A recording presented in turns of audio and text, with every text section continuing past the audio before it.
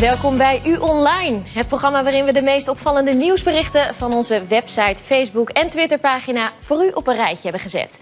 En we kijken natuurlijk ook naar de reacties die het nieuws losmaakten op social media. We gaan het hebben over het syndroom van Moja Moja, Paleis Soesdijk en natuurlijk FC Utrecht. Maar we beginnen met het belangrijkste nieuws: een gewelddadige woningoverval in Woerden. Want op zaterdagavond 2 januari overmeesteren twee mannen de bewoners van een huis aan de Schravensloot. De daders zijn nog steeds niet gepakt, maar alles is vastgelegd op camera. Een kwartier later komen de bewoners thuis. Ze stappen uit hun auto en lopen op hun gemak naar de zijdeur. Maar dan springen de twee mannen tevoorschijn en overmeesteren de bewoners. De man krijgt meteen harde klappen in zijn gezicht en ze worden vastgebonden met tape rond hun nek, hun polsen en hun enkels. Die overvallers gaan dan op zoek naar waardevolle spullen. Maar dat gaat ze allemaal niet snel genoeg. En ze dreigen de man dan in zijn been te schieten. Een half uur lang verkeren de man en de vrouw in doodsangst. Dan vertrekken de overvallers met volle tassen. Ze geven elkaar zelfs nog even een box en lopen rustig weg. En terwijl de slachtoffers binnen vastgebonden in shock en lichtgewond achterblijven... klimmen ze weer één voor één over het hek. Ja, dit is onze best bekeken video uh, ooit uh, op onze website. Hoe komt dat? Nou, het is natuurlijk niet niks wat er gebeurt. Die dieven komen gewoon je huis binnen en belagen je van achteren. En dat zien we eigenlijk ook gewoon terug op, in, in de reacties. Maar laten we eerst even kijken naar een overzichtje.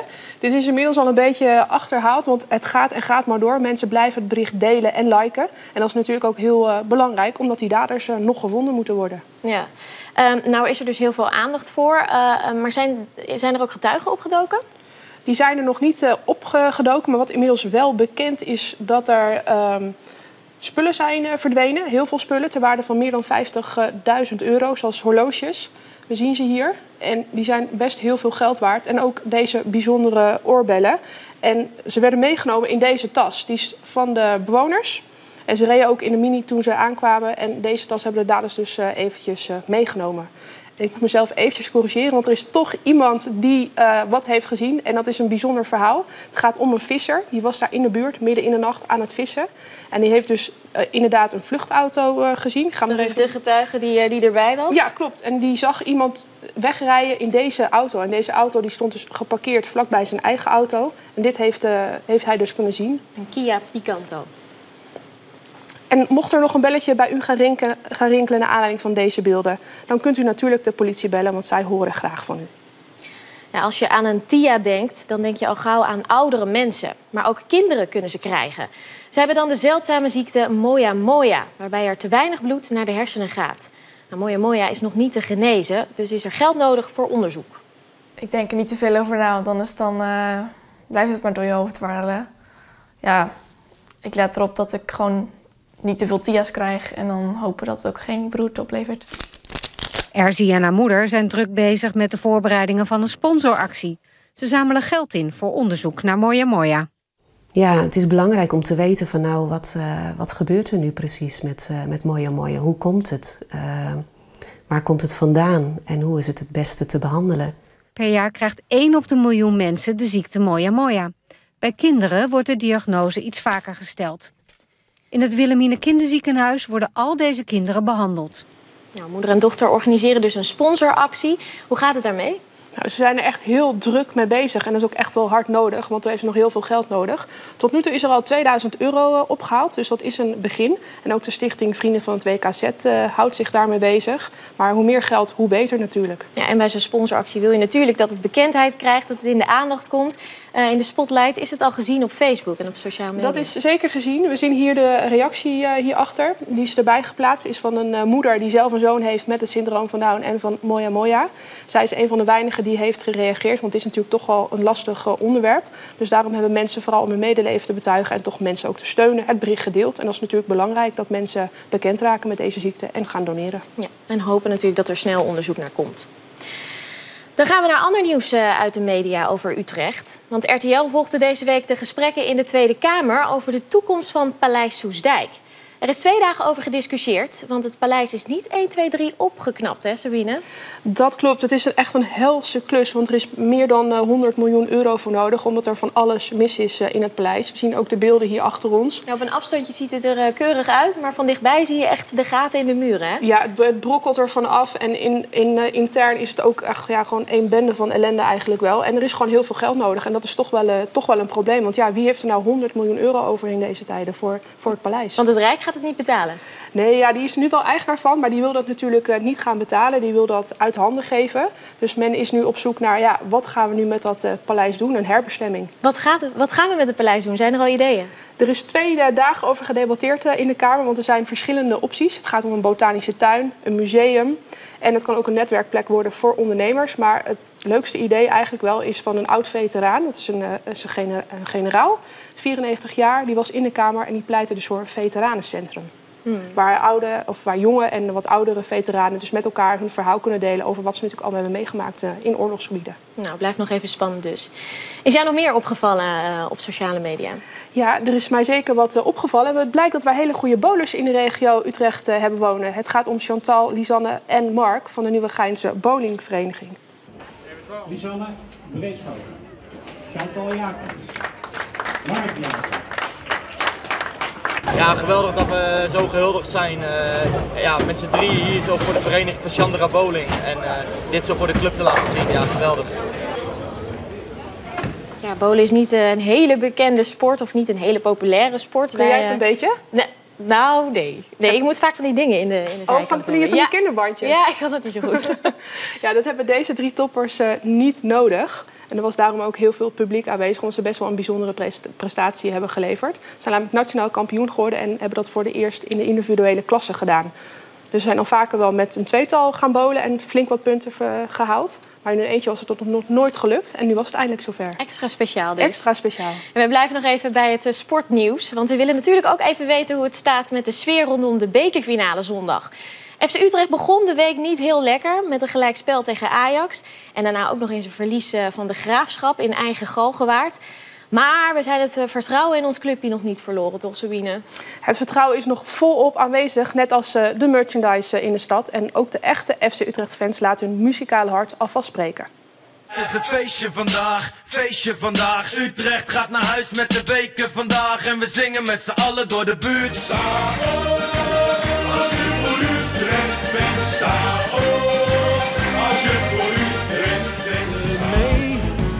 onze twaalfde man, dan weet ik echt wel zeker dat het weer kan. Want wij zijn u, u, u. Wij zijn FC Utrecht. Want wij zijn nu.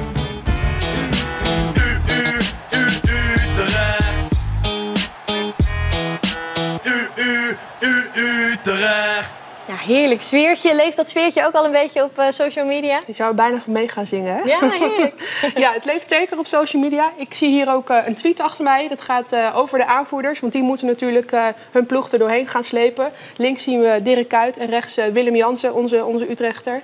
En uh, ja, dat, dat wordt dus veel besproken. En we hebben ook gewoon fans die van zich laten horen.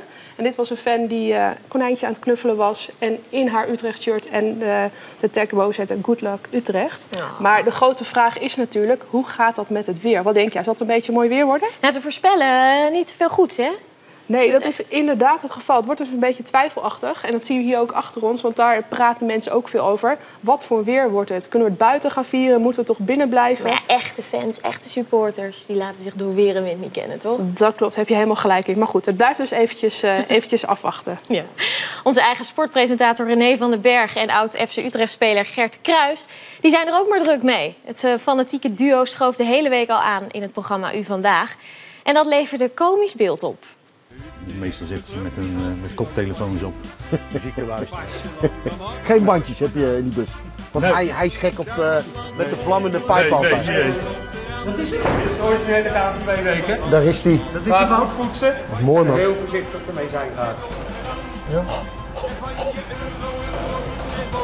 Bovenkantje goed meenemen. Hè? Lekker hoor. Smerig Kees. Mooi. Nee, Voor de fans, we hebben iedereen opgeroepen om in rood of wit te komen. Daar hebben we ons inmiddels bekende Kuipie Kuipie shirts uh, voor hangen. Speciaal voor jullie uh, laten maken. Dan heb ik het even over de maat. Dit is een S'je. Gert een S'je en hier een 4 XL. Ja, dat is heel moeilijk ja.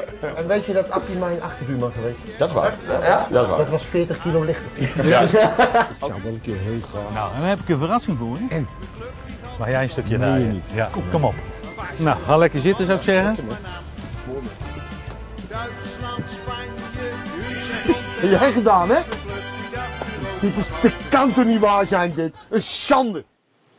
De filmpjes van René en Gert zijn natuurlijk terug te vinden op onze Facebookpagina en op onze website. Maar vooral op onze Facebookpagina werd echt heel veel gereageerd. En hetgeen wat je echt voor, het meest voorbij is gekomen is deze, is deze reactie. De Geer en Goor van Utrecht. Want ja, daar heeft het natuurlijk toch wel een beetje wat Gerard voor weg. Joling en Gordon. Ja, het is natuurlijk een eh bondstel eh, bij elkaar. En dat vonden de mensen gewoon heel erg leuk eh, om mee te maken.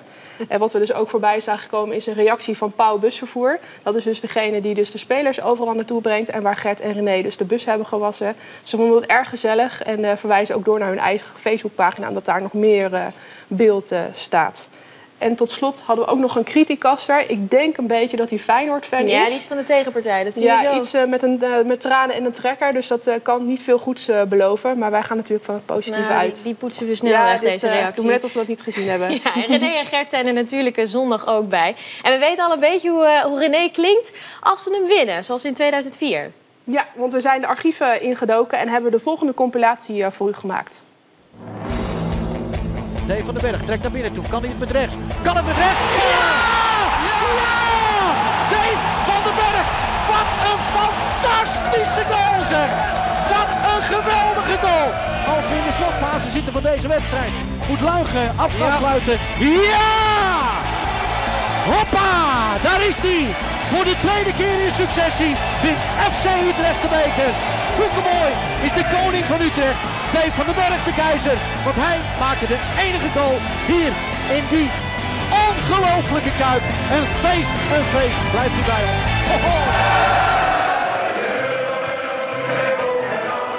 Ja, de hele zondag staat RTV Utrecht in het teken van die bekerfinale tegen Feyenoord in de Kuip in Rotterdam. Met verslaggevers voor radio en televisie zijn we overal bij.